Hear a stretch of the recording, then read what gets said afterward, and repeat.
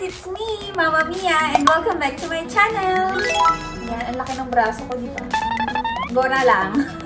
and share ko lang pala sa inyo to kasi nung nakaraan, nandito yung kapatid ni Ryu.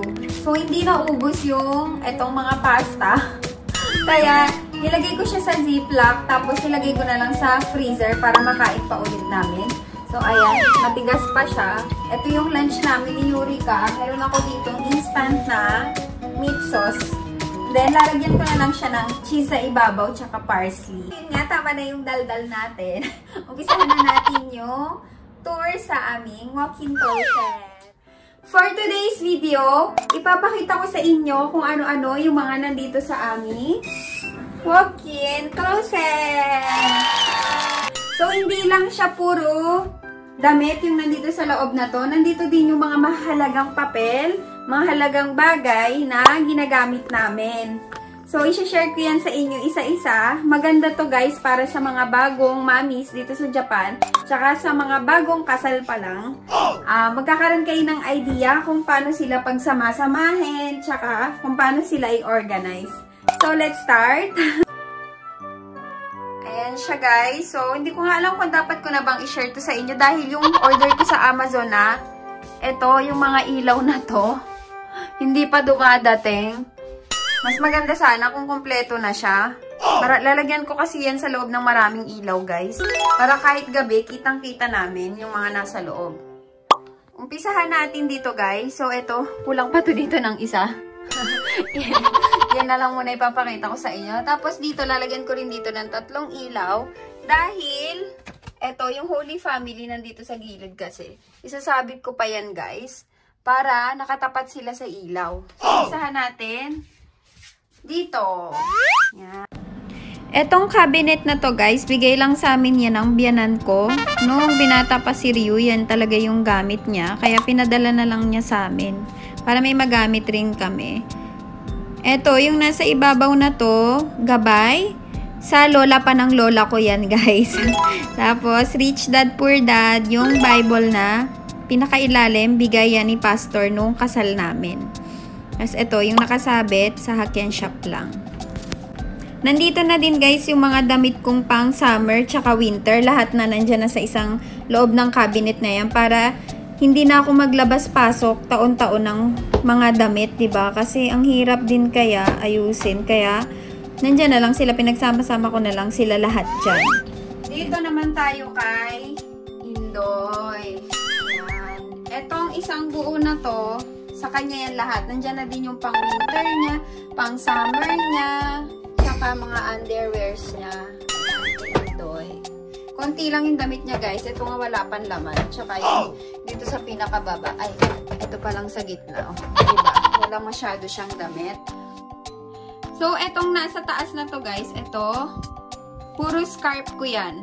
Scarf, tapos mga mga tag dito, cardigan na panglamig, ganun. Tsaka mga boshi, nandito sa loob. Ito namang nasa baba, ito yung pantrabaho ni Ryu. Tapos meron pang isa dito, yung pantrabaho niya na mga damit pang winter. Yung tatlo na yan sa taas, nakakita ko na to sa vlog ko, 'di ba? Yung aming ano, mga medical kits. Kay mama, kay papa, kay Yuri. Yan, dito na tayo. Yan. Pinost ko to sa aking Facebook account, 'di ba, guys? Ayan. Papakita ko na sa inyo. Nakataas.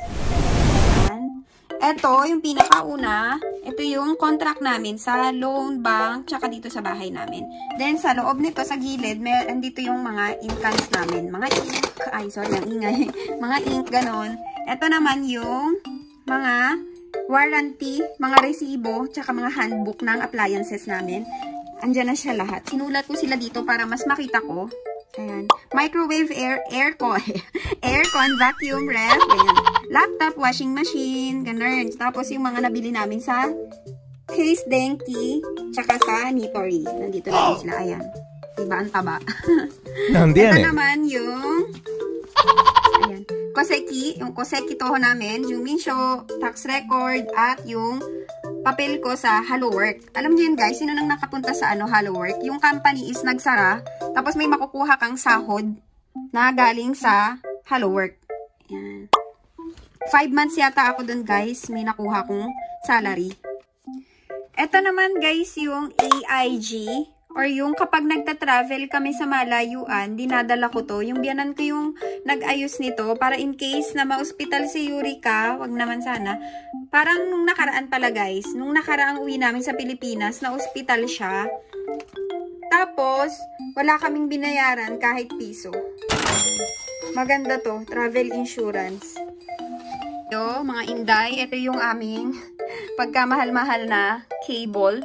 Yung gamit namin, BB QTNet. Ayan, 8,000 yung monthly niya. Ito yung contract niya. At least 3 years dapat. Bago kami magpalit ng ibang cable. Gusto na sana namin yung Netflix. Kaya lang hindi daw pwede kasing palitan. Kasi nakasulat sa contract, kailangan 3 years bago magpalit ng iba. Ito naman yung contract namin, tsaka mga papel sa gas, tsaka sa kuryente. May nakasulat siya dyan. Para pag hinanap ni Indoy, gasu, ganyan, gas, denki, yung kuryente namin, nakasulat na. Ito naman yung mga baby records ni Yurika. Papakita ko sa inyo guys, nakakatuwa to. Tingnan nyo. Hakian shop lang to lahat ha. Maliban lang dito. Ito 700 to eh. Tsaka ito. Yan. Sa Nitori. Ito yung baby records ni Yurika. Ayan. Ito yung kanyang ano, ultrasound dati. Ultrasound ko sa kanya. Ayan. Nandyan siya lahat. Simula 6 weeks. Ayan, sobrang dami ang kapal niya dito. Gila. Tignan nyo, heart shape. Diba? Sabi nga nung doktor, sabi, ang cute naman ng ultrasound mo, naka-heart shape siya. heart shape. Hmm. Diba, heart shape. Ito yung heartbeat. At saka, andito din yung mga CD ni Eureka. Ayan. Nung first birthday niya, yung CD. Para pag gusto ulit namin ipaprint, nandito lang siya sa loob. Ito naman yung video nung nanganak ako, tsaka nung, yung mga ultrasound ko sa kanya simula 6 weeks. Nandito. Hanggang dun sa pinakaliguan ko siya. First time ko siyang kaliguan. May mga ganern-ganern pa sila, di ba? Ito naman yung nung nag-audition si Yurika sa NHK. Model isang. Model. Ayan, nang nag, ano siya. Nakapasa naman siya, kaya lang namendok sa yan kasi ako, guys. Pupunta pa sa Fukuoka. Kaya sabi ko, wag na lang. meron din akong stock, meron. meron din akong stock dito na plastic cover. Yan. Tapos itong mga to, wala pa tong laman, guys. Yan. Diyan lang muna sila. Magagamit ko rin yan pagdating ng panahon. Pagdating ng panahon. Sa pinakataas, dito naman tayo. May nakasulat pa ditong remote. Hindi naman puro remote lang ang laman yan. So, ginalaw to ni Indoy. Hindi ko alam kung ganito pa rin. So, for example, well, ito, iPhone XS. So, gaganyan ko lang siya. Malilipat na siya, ba diba? Para mas kita ko na. Tsaka para mas madali siyang hanapin. Sunod ay yung iPhone 8 tsaka 7 na earphones. Then next, yung, uh, yung, ano tong nakasulat? Mouse. Yan, may mouse sa likod, mouse. Yan. Diba? Ang laki na ng braso ko nainis ako. Nainis ako. Ito naman yung charger sa Samsung na DVD namin. Sunod yung ano to? Tripod na S-size. Next. Power bank. Ang cute na itong power bank ko guys. Tignan nyo. Ay, saan ba yun? Ito siya oh. White. Ang cute. Ito naman, yung sa likod pinaka-last, yung panggupit ni Yurika. Ayan. Haircut kit. Pang haircut kit. Yan. Yan sila lahat, guys. Hindi ko na isa-isahin. Masyadong hahaba yung video natin, di ba? Yan. Dito sa gilid yung mga remote na hindi namin ginagamit. Dito yan, yung mga ilaw dito sa loob ng bahay namin. Hindi namin ginagamit. Ito naman yung remote sa dito, yung sa taas. Ito, yan. Remote nila yan. Tapos na tayo dito. Basta yung mga nandito, mga tools to guys. Yan, mga remotes. Ito naman, batteries and tapes. Tignan nyo yung mga tapes ko. Iba-ibang kulay. Nandiyan eh. Ito sila guys. Tagi. Yan. Para sa mga wire dito sa bahay namin, yung mga makukulay na wires, binabalutan ko siya nito. White. Para hindi masyadong makulay sa loob ng bahay. Masking tape. Ito din tape na rainbow. Yan. Yan sila. Mga tapes. Ayan. Ito yung mga batteries ko stapler na, yung bala ng stapler. May extra din ako dito, ano, yung sa switch ng ilaw. Saka adapter. Sa ilalim niyan, meron diyang mga, yung pang sapo guys sa mga remote, hindi pa kinakabit ni Indoy eh. Ito yung case kanina. Doon, tapos na tayo dito. And, Dito naman tayo sa school supplies. Sa natin. Ganyan yung ganap nila sa loob. Ito yung raincoat ni Yurika na hindi pa niya nagagamit. Color white lang. Tapos meron siyang nakaprint na, ano, tag dito manok, chicken, karage kun, ganun. Ang cute niyan guys. Bigay ng papa niya. Ito naman yung mga memo, note na notebook ko. Nagagamit ko naman to at nagagamit ni Yurika. Ayan, sinulatan na niya. Mga, tawag dito, card case. Dalawa tong card case na to eh. Ito yung isa. Oh. Ito naman yung sobre, pa, ano, sobre ng pera. Mga pang regalo ganyan. Kapag Christmas, ito naman yung mga, ano, pang label ko. Yung mga nakadikit dun kanina sa ziplock ko. Ito naman, ganun din. Ito yung name nameplate, name card, ang tawag dito. Nakalimutan ko na. Nandiyan din yan. Glue stick, tapos mga extra sobre. Andito. Ito naman yung mga pencil, color pencil. Ito din, mga pencil na. Ayan, ang cute nila guys, tingnan nyo. Minions, may apples. Cute. Ito naman yung ballpen namin. Iba't ibang klaseng ballpen. Ayan, may glue din sa loob. Color pink na ballpen, violet, black. Ito black lang din to, kaya lang white lang yung style na Nandiyan sa labas. Ito yung sinasabi ko kanina guys. Ayan. After one year, nagamit ko din siya. Last year ko pa to binili eh. Ayan. Sa Daiso. Tapos glue gun, stapler. Yun lang. Dito guys, ito yan. Pinakamahalaga. Palagi kong bit-bit. Ito. So, 300 yen to lahat. Paano po naging 300 yen yan? Ito po, 100, 200, tapos 300. Itong baby na. Chain. Ang cute, no? Ayan. Nilagyan ko talaga nito, guys, para malaman ko na kayuri ka agad to. Ayan. Ito yung kayuri ka. Ayan. May nakasulat to na medical card case. Ayan. Sa loob niyan, ganito yung itsura niya. Yan, binaliktad ko na para hindi nyo rin makita yung ano, information kasi magagalit si Indoy. Ito yung ano, listahan ng mga gamot na iniinom ni Yurika. Para in case na magkaroon siya ng allergy, pag nagpunta kami dun sa allergy na, na doktor, makita niya kung anong gamot yung ininom niya, tsaka malaman kung bakit siya na allergy. Ayan, nandito yung record ng medicines. Ito naman yung, nandito yung kanyang Hokkien-sho dito sa loob, nandito yung kanyang my number. Yung color pink, guys, kailangan palagi natin itong dala. Dahil hindi sila check upin kapag wala yung my number, Hokkien Show, at saka itong kanilang boss techo. Nandito yung record ng ano nila, kung may BCG na ba sila, kung may bakuna na ba sila, ganon, ayan, kailangan. Pag umaalis ako pala, palagi kong bit-bit to guys, etong, etong dalawa na to, hindi ko pwede itong maiwanan kasi babalik kami sa bahay. yan. Ito yung, dito ko sila nilagay para mas maayos, diba? Tapos nagdadala din ako ng isang tissue. Yun lang. Hindi ko napapakita yung sa akin kasi kung hindi naman, ay, kailangan ko pala ipakita yung sa akin guys kasi meron ako mahalagang bagay dito. Ito yun. Mga card. Mga card ng mga ospital, iba't ibang klaseng ospital. Nandito sila lahat.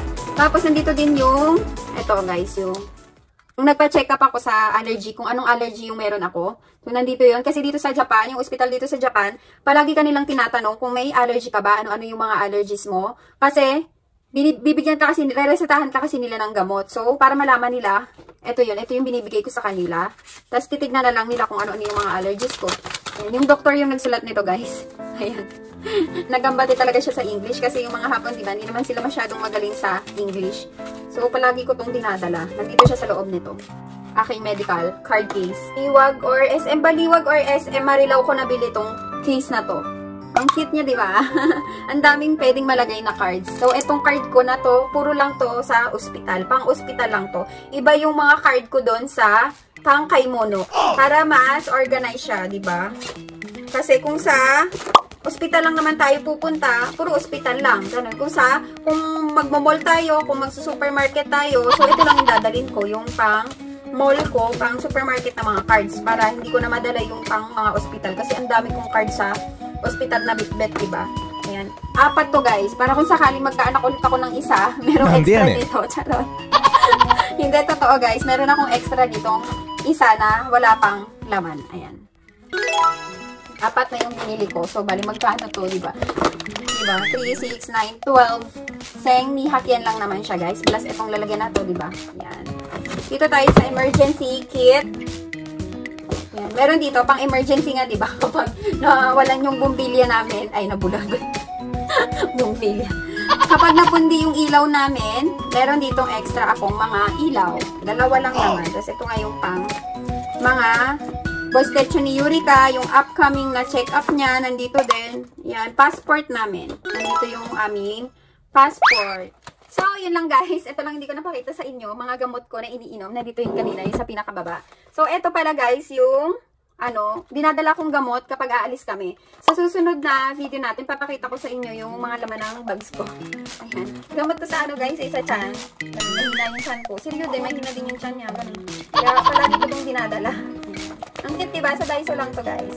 So, yun lang. Sana nagustuhan nyo to.